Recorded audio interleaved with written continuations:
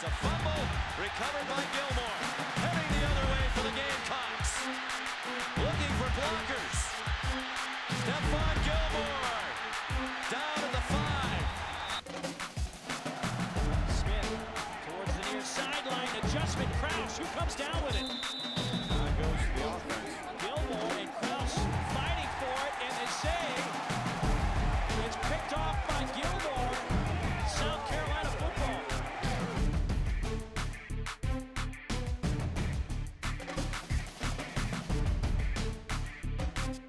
Clemson wants to throw it though. He's got a man wide open. Roy throws into coverage. Gilmore caught, picked off, trying to turn back up the field. Makes one move and they trap him at the six and drop him.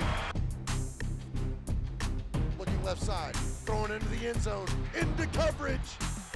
Stephon Gilmore, interception in the end zone.